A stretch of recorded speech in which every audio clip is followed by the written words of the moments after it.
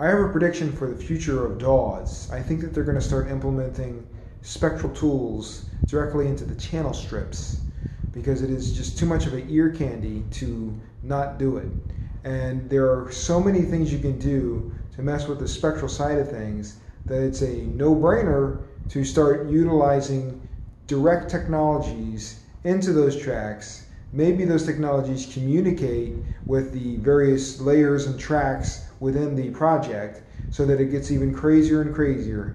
Because I was just thinking about AI and how that's going to, you know, create new kinds of music, but even before that, that's I've been focused on the before factor for a long time about AI because everybody's just ready to jump into AI, but there's so much uh, untapped stuff that never got fully developed before AI, and I really wonder what's going to happen with that because we have an issue in society where people move forward too quickly, too often, and that's a thing of structure and control and power and how monopolies basically move that stuff. And but people say they look back and they say we like some things from the past. So anyway, so that's this is a case where a real musician is keeping an ear on everything because I have the all-hearing ear as my logo, and. Um, so, but spectral stuff, it actually also feeds AI. but, anyways, listening to it from the human perspective, you can hear how if what if you had you know 10 different spectral editing um, tools and plugins right on your track okay?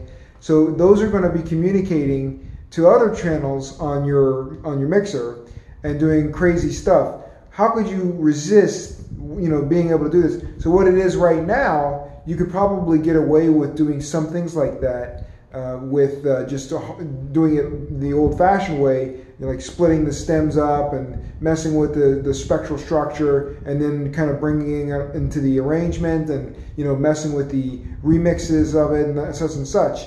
But what I'm talking about is a little more sophisticated direct implementation of the technology, so that when you are in a program like Logic, um, not only could you should you you be able to push a button and split things up like the stems and all this, but you should also have a manipulation factor with the stems so that you can tweak those and create cool morphing effects just right from the go. Just think about uh, an axis, an XY axis that is a vector, and you're just moving along through the spectral system with this axis on each channel. Oh my God, oh my God, that is irresistible from a sound design point of view, and to think about how many kinds of people that would affect in terms of their professions, you know, from um, movie editors to, you know, musicians to hobbyists to, you know, all these professionals out there. So, you know, if you have this right, readily accessible within the DAW, it makes it much easier uh, and more efficient to